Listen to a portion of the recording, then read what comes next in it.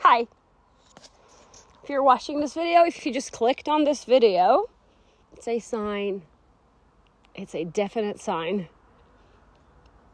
from the one that you definitely got to go and move into either a countryside or a mountain. I'm currently in the mountains.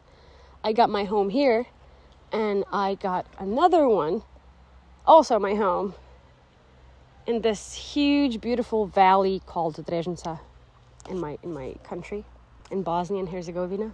This decision that I made back in 2019 was the best decision of my life. Period. Let me tell you that. Also, I know it's a bit weird to have someone who lives literally in the nature have this much energy. Because usually, when you watch YouTube vlogs that are about living in the countryside, living in a cottage, you know, cottage core, stuff like that, those people are usually pretty calm, have a calm voice. I, I, I literally hope there's not a bear around. I hope there's not a bear around. Yeah, I mean, there's a there's a mountain uh, hotel right here, so you can hear cars passing by too. But at the same time, I hear footsteps, so I'm like, mm. I gotta tell you that everything became clear to me right after I left the city. Everything was so clear, I couldn't believe it because my biggest problem was derealization. I was completely derealized, not depersonalized, just derealized.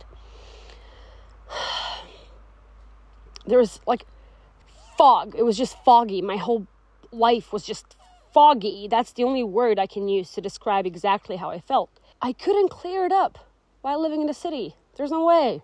And by the way, I live in a small town. It's not even a city, it's a town. And it's called Mostar. And it's way smaller than the typical American cities you see. I don't know, typical European cities that you see. Way smaller. It's considered a town more than a city, right?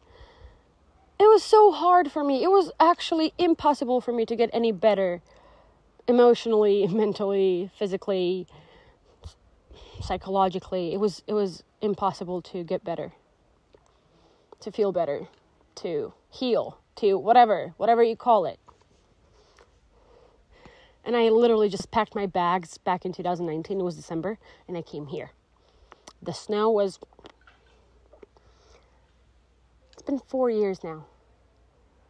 December 2023 marks four years.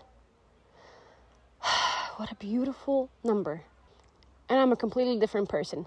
And let me tell you, I healed 60 to 70% in, during these four years.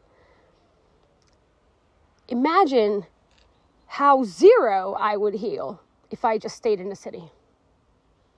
Like, you have to change your environment. Don't expect yourself to have a different life redoing stuff that you've al- already been doing for years. Don't expect any changes at all. And people think, oh, I can definitely live a slow life in the city. I can help myself. No, no, you can't. No, you can't. Especially if you're introverted, there's no way. We were born to experience this every day. We were not born to experience concrete every single day. And for those of us who feel it, we gotta move. We gotta move. Like it's not even my opinion. It's it's like a must. You gotta move. Cause you're more empathetic, you're more emotional. You you have more emotional receivers all over your body than other people do who manage to survive in cities. Like we don't get to manage like it's not smart for us to stay in the city. So this video is supposed to tell you that. Like bring that decision. Finally, bring it, do it, leave. Because you got nothing to lose. You're already losing by living in the city. I'm telling you, you're losing your energy. The fly is telling you the same stuff. Did you hear that? You heard that. You heard you heard it. You heard it. So we're already losing a lot by, you know, just I remember I was I was dead broke while living in Mostar. I was dead broke, my dude. And the moment I left, ideas just started popping in. Like I, I started getting ideas, more ideas, more ideas. At first, I was too tired to do anything about them. But then you don't even have to work on regaining your energy. It just regains itself. It gets back. Simple as that. It just does. When you are where you belong, your energy just comes to life all by itself. And then what you do with it, you create with it. And there's no way you can create shit when you don't have it. The energy, right? Bro, I'm I wish I could push you out of your apartment right now. I wish I could just like you see, it agrees with me. Huh? I wish I could just push you out of your apartment right now, literally pull you by your ears and be like, "You come." But I can't. you have to bring that decision on your own. There's nothing to lose.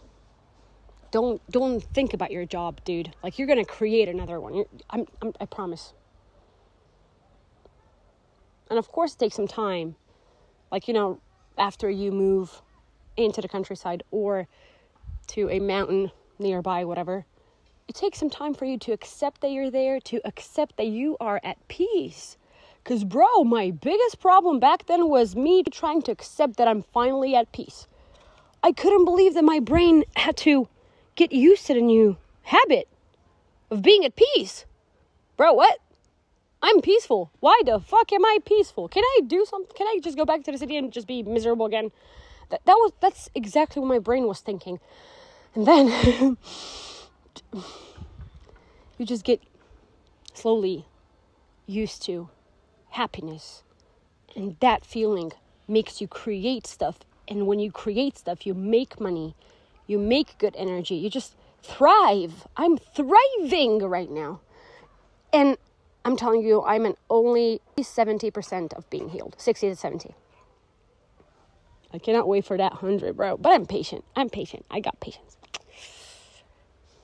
Anyway, this is it. Go, move, get the fuck out of that house. Thanks.